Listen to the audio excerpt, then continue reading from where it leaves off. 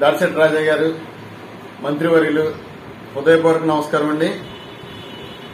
మీరు ట్రోల్ అవడం కోసం లేదా పబ్లిక్లో పబ్లిసిటీ పొందడం కోసం మీకు పవన్ కళ్యాణ్ గారు ఆయుధంగా కనిపిస్తున్నారా ఏంటి?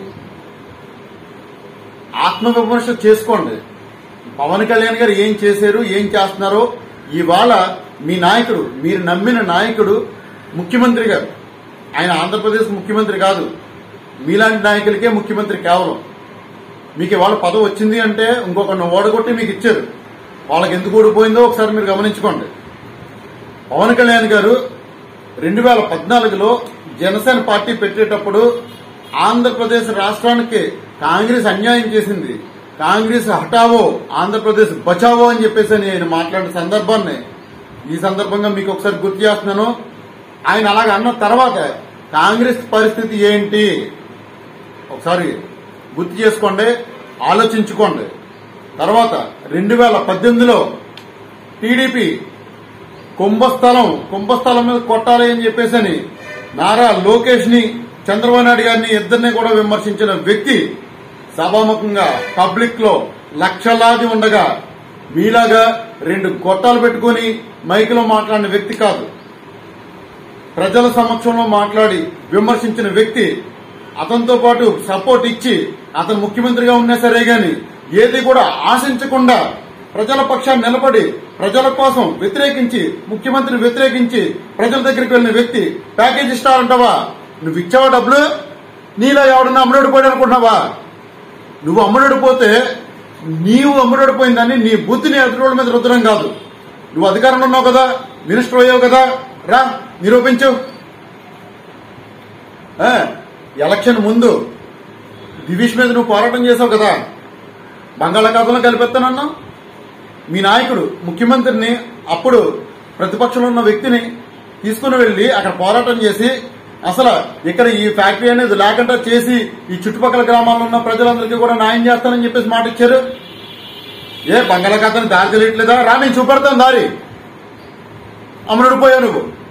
నువ్వు అమరుడు పోయి మీ నాయకుడిని అమ్మేసి మీరు ప్యాకేజీలు పనిచేసుకుని దాన్ని ఎదుటోళ్ళ మీద రుద్దుతారా? ఇదేనా మీరు చేసేది? ప్రజలు మిమ్మల్ని నమ్మి మీకు ఓట్లేస్తే మీరు ప్రజలకు చేసే న్యాయం ఏంటి? వాళ్ళ దగ్గర ప్యాకేజీలు తీసుకొని మళ్ళీ దాన్ని డైవర్ట్ చేయడం కోసం పవన్ కళ్యాణ్ ఎలా చేశాడు? పవన్ కళ్యాణ్ అలా చేశాడు. అతను వ్యక్తిగతంగా విమర్శించడమా? ఇవాళ పవన్ కళ్యాణ్ ఏం చేస్తున్నాడు? అతను కష్టపడి సంపాదించుకున్న సంపాదన నుంచి ప్రజలకి పంచిపడుతున్న డబ్బులు. ఆయన ఎన్ని విరాళాలు ఇచ్చాడు? ఒకసారి చూసుకో. మీ నాయకుడు ఎప్పుడైనా విరాళాలు ఇచ్చాడా? ప్రజల సొమ్ము లక్షల కోట్లు దోచుకున్న కేసులు ఉన్నాయి. జైల్లో గడిపిన వ్యక్తికి మీరు సపోర్ట్ ఇచ్చి మీరు ఆయన కోసం ఒక నీతిగా నిజాయితీగా అతని కష్టార్జితం మీద భక్తి బతికే వ్యక్తిని మీరు విమర్శిస్తున్నారు పవన్ కళ్యాణ్ గారికి వ్యవసాయం రాదు. రైతులు ఏం చేస్తాడో రైతులు ఏం చేస్తాడో అని చెప్పి చెప్పేసి మాట్లాడుతున్నారు. పవన్ కళ్యాణ్తో ఒకసారి వెళ్ళి తిరిగి చూడు. పవన్ కళ్యాణ్ ఏం చేస్తాడో నీకు అర్థమవుద్ది. మేము నిన్న కాక మొన్న వచ్చాం మేము. గోచీలు పెట్టుకొని రాజకీయాల్లోకి. మీ గోచీలు పెట్టుకోకముందు మీరు ఎప్పటి నుంచో పంచులు కట్టుకొని కత్తర సొక్కాలు వేసుకొని రాజకీయాలు చేస్తున్నారు కదా? ఇదేనా మీరు నేర్చుకున్న రాజకీయం? మాలాంటి వాళ్ళకి నేర్పాల్సింది పోయి ఇలాంటి కులి రాజకీయాలు మీరు ప్రజల మీద రుద్ది ఎదురోళ్ళ మీద రుద్ది మీరు చేసిన తప్పుల్ని మీరు చేసిన వాటిని ఎదురు నాయకుల మీద రుద్దేయడం ఇదేనా మీరు చేసే పరిపాలన?